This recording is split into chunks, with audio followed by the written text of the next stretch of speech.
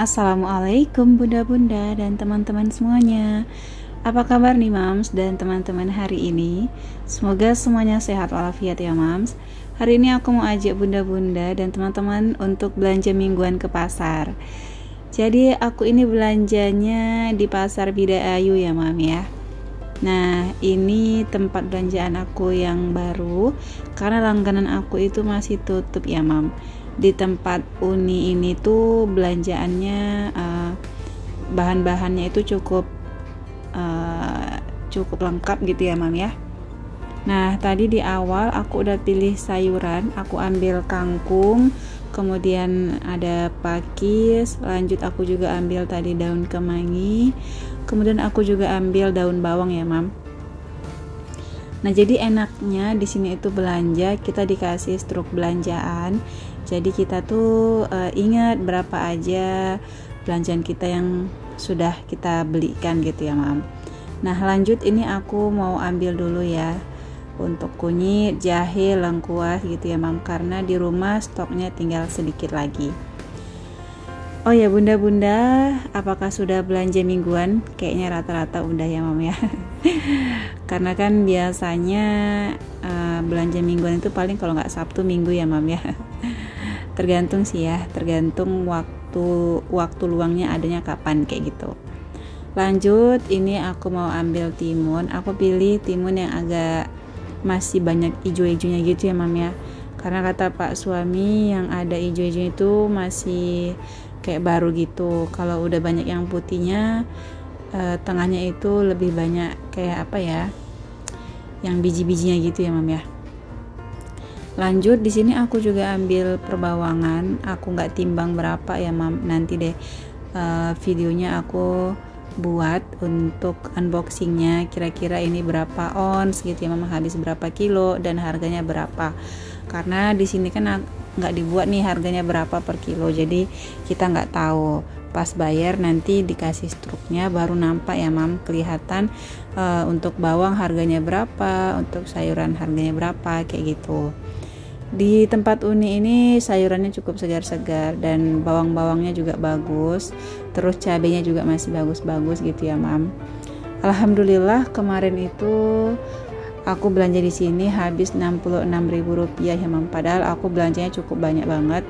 Dari sayuran cabenya juga agak banyak tapi habisnya Rp66.000 Alhamdulillah banget ya mam. Kayaknya udah sedikit turun gitu ya harganya dan di sini juga aku ambil tomat. Nah ini tomatnya rada besar-besar.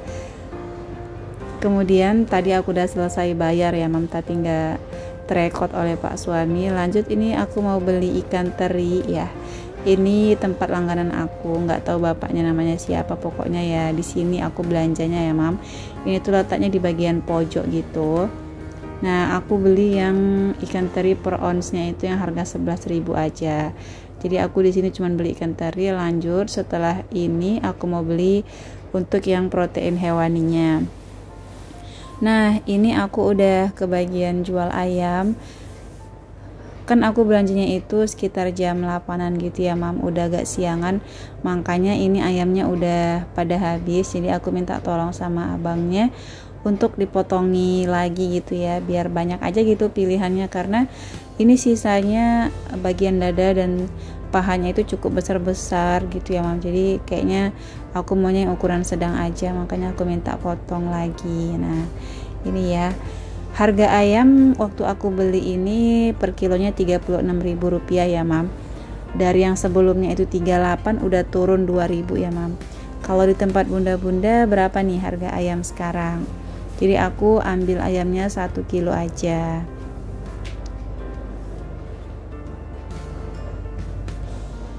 di bagian sini selain ada ayam juga menjual kayak tulang sapi, daging sapi gitu ya mam Nah, lengkaplah di sini pilihannya. Tergantung mau beli apa ya. Ada juga ceker ayam, ati ampela gitu ya, Mam. Tapi aku udah lama banget nggak beli ati ampela ya. Karena di rumah itu emang kurang suka ya, makan ati ampela. Mending uh, beli daging ayamnya aja. Kadang aku masak ati ampela itu masih bersisa gitu ya, Mam. Dan ini ayamnya udah selesai ya. Lanjut aku mau pilih ikan. Nah kalau tempat ikan biasanya aku belanjanya di sini nih tempat si udanya. Nah karena udahnya ramah banget dan harganya juga uh, cukup miring menurut aku ya jadi di sini aku cuman ambil ikan benggol aja. Satu kilonya itu ikan benggol kalau nggak salah 28 ribu. Tapi aku nggak ambil satu kilo aku ambil secukupnya aja ya mam ya. Uh, jadi kenanya 20 ribu rupiah. Nah kan budget aku belanja mingguan itu 150 ribu rupiah. Dan aku ke pasar juga bawa uang segitu mam ya. Karena kalau dibawa uang pas alhamdulillah cukup dibawa uang lebih malah kurang. Kadang aku begitu makanya lebih baik aku bawa uang pas-pasan aja. Malah menurut aku itu jauh lebih bisa aku cover gitu ya mam. Karena aku tahu nih uang aku tinggal segini jadi ya nggak usah dibelikin yang macam-macam. Nah gitulah. Lanjut ini aku mau pilih tempe dulu karena akhir-akhir ini tuh aku suka bikin kayak tempe goreng gitu ya mam ya untuk cemil-cemilan. Nah yang bagian ini tuh 2001 tapi kayak lembek-lembek gitu ya. Makanya aku ambil yang agak padat aja. Ini satu bungkusnya yang 5000 rupiah. Kemudian di tempat abang-abangnya ini ternyata tahunya habis jadi aku ke sebelahnya aja. Nah aku beli tahu di tempat abang ini aja ya mam. Aku beli 5000 aja tahunya karena nanti untuk campuran kayak masak sambal ikan teri gitu ya mam itu enak banget loh kalau pakai tahu jadi tahu ini wajib banget aku stok sama tempe ya mam di rumah